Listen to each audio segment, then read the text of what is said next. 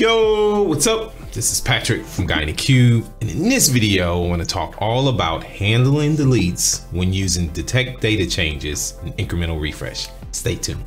If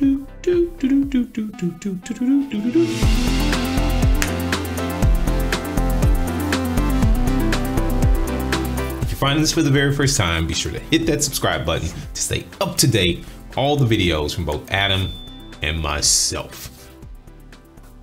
Okay, so I did a video on this a while ago, but to be honest, the delete part of the video was kind of weak and I decided that I wanted to update it and give you a more elegant solution. You know, it'll handle all your data manipulation language, all those DML operations that you perform on your database. It'll take care of those, all right? So before I jump into this, I wanna say one thing.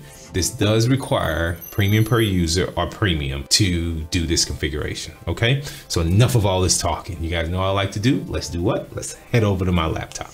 So the first thing you want to do is configure this table. So I created this table. I call it config. This is fact internet sales, detect data changes. That's what it stands for. You can call it whatever you want. I have three columns. The two columns that are important are the range start and last updated. And then you want to populate that table and each row will correspond to a partition for that table. And it should correspond with how you have your incremental policy set up. And so for me, it's 11 or 12 months. So I have a row for each month and it's the start date for each month. And when I initially populate it, I don't set a value for the last updated. And we'll talk about the last updated a little bit. So that's the first step. First thing you need to do is get that table configured. Once you have that table configured, then you need to head over to your Power BI desktop or Tabular editor or whatever you use to make this modifications. People will say, oh, Patrick, you can't use Power BI desktop because you're using incremental refresh and I can't download the PBIX file. Well, I'm not gonna upload or try to overwrite over it because I wanna hang on to all my data that's there. I'm just gonna do like a schema change. I did a video on this, doing schema only changes without refreshing. You should go watch that video to familiarize yourself with that. So after you create this table, you need to get it in your model. I wrote a script that you can use. You need to go over to the downloads and in the zip file, you'll see this file, DDC Power Query. You open it up and copy the contents of it and then go into the query editor, create a new blank query and then paste that code in. It should be something like this. And you can name this whatever you want. If you're following these steps, there's a PBIT file that you can open up and you can follow these steps. If you're following the steps of the video, you want to name it the exact same name I have it. What's important about this is that there's a step here where I use the exact same parameters that I would use when I'm configuring incremental refresh on a table. So I use those parameters so I'll align with my partitions. And now you can see if I go up on a step of this, you can see it's only showing the November partition because that's how I have my parameters configured. And then you also right click here and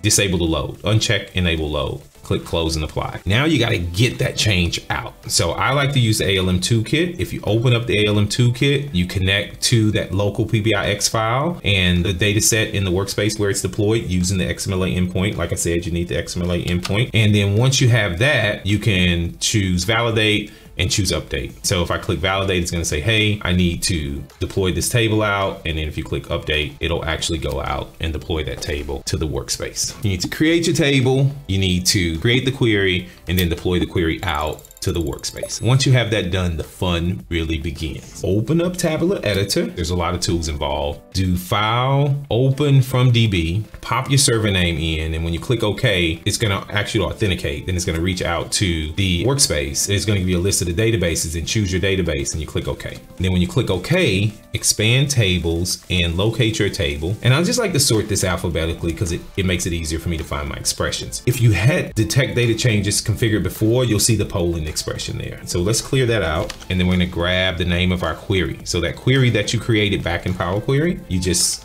paste it right there. And then all you need to do is click file, save. It's gonna go back to the server, to the workspace and update your polling expression. And so this is where people say, oh, I can't download my PBIX file. If you're using your PBIX files in ALM Toolkit, you can still use the PBIX file to make changes. Just the changes will be deployed using the ALM Toolkit. Or you can use Tabular Editor or you can use other tools that allow you to connect to the XMLA endpoint, all right?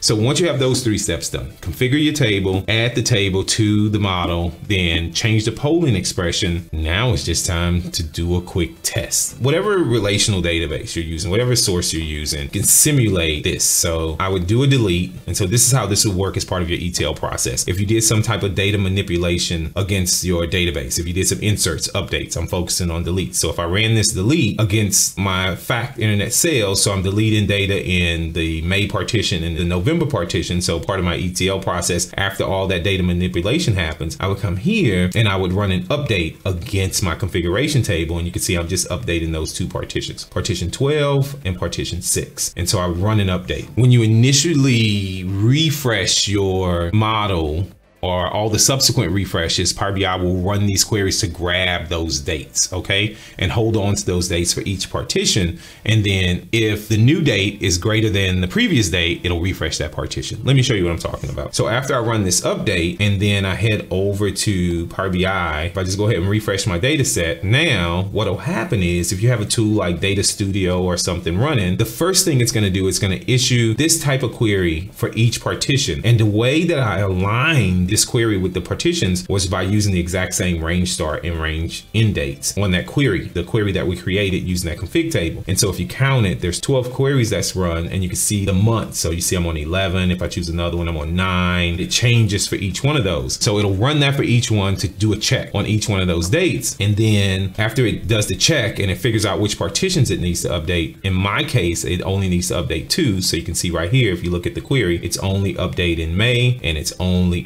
update in November. The thing that you'll have to do is modify your ETL process to accommodate that and make sure you're updating that config table. But What's important here, an indirect benefit of doing this is that date column, that last updated column that you need to keep on every row. If you had hundreds of millions or billions of rows, that column could be a very high cardinality column and subsequently take up a lot of space. And you get to remove that column and get all that memory back. This is great and it makes things so much easier and so much simpler. You just got to make a few changes to your ETL process, a few changes to your model, and then it all works. Okay, what do you guys think? Have you done this before? Did you come up with your own approach? Did you struggle with the old approach? I'd love to know. Let's continue the conversation where? In the comments below. Your first time visiting the Guy in the Cube channel, hit that subscribe button. If you like my video, give me a big thumbs up.